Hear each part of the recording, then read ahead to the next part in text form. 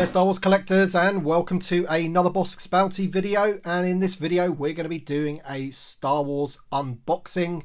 That's right, we're going to be unboxing this very box here which I've been waiting for quite a while to arrive and it is finally here, thank the Lord. And you guys are going to love what is inside, believe me. So without further ado let's get the box open. And if you do happen to enjoy the video don't forget to drop a like down below. And I thank everyone for supporting the channel. Hitting 15,000 subscribers is awesome. So thank you to everyone that does subscribe. And if you don't subscribe, make sure you do hit that subscribe button. And then we can see what's in this box. So it has come from the States. Um, let's be careful with this box cutter. Stanley. All right.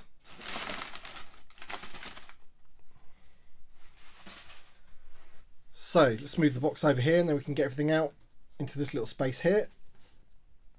So first up, oh lovely, we have Greef Karga VC185 on the Mandalorian card.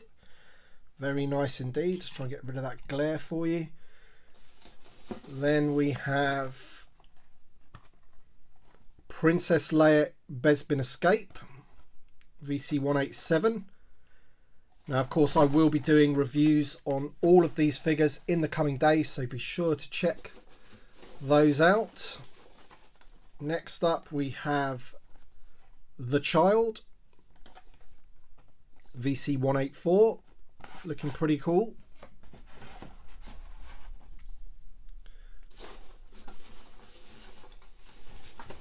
Next up, we have Zutton or Zuton, however you want to pronounce that. He's VC 189. Awesome wave, this one. And of course, the wave wouldn't be complete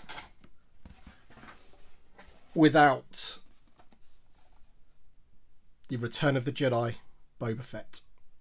And by the time you're watching this video, you've probably and hopefully already watched my review of this figure because I'll be putting that video up first. VC186. Just look how good he looks. I cannot wait to get this guy out of the package and review him. Um, obviously, there's a lot of history around this card back, kind of, or recent history.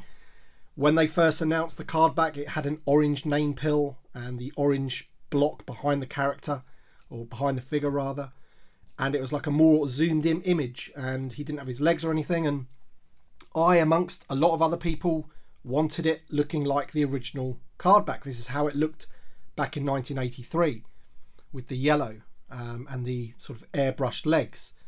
So they listened to the fans and they did a running change but apparently and we don't know 100% for sure but apparently a few of the orange cards got out of the factory and we don't know where they're going to land but I've got a yellow one. Hopefully, I do have a few other pre-orders, uh, other retailers and stuff like that.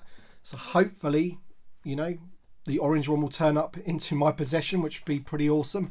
But you never know what's going to happen. But um, yeah, that's the recent history behind this. There's going to be two versions of this Boba Fett, with the orange one probably being the rarer of the two, or almost certainly, because you know this yellow one's going to be everywhere, and I would imagine that Hasbro are going to be making you know thousands and thousands of this figure. Um, it's not a perfect figure, which you will see in my review. Um, there is one slight little thing which is a, a, bit annoying about it, and we will come to that in the review. But um, it's almost a perfect three and three quarter inch action figure, and they have done an amazing job, and we'll we'll we'll see more in the review. So there you go, then, guys. That is the the wave. Um, I don't even know what wave number it is these days. It could be 31 or something, or some people count from the beginning of the year. Some people count from when the vintage collection came back. If you're going all the way back, I think it could be uh, wave 31, I think. Uh, but I'm not 100% sure about that. But um, some website somewhere will have the correct numbering. Uh, but there you go. So yeah, we've got Zuton, Greef Karga, Princess Leia, The Child, and Boba Fett. Makes for an awesome wave of figures. And as I say, I just cannot wait to review them all. And as I mentioned, if you're watching this video now, hopefully you've already seen my review of the best one of the wave, the Boba Fett. So let me know your thoughts in the comment section below. Have you picked up these figures yet? Have you got them on pre-order? Let me know in the comments below. And thank you very much for watching. And we shall see you on the next one.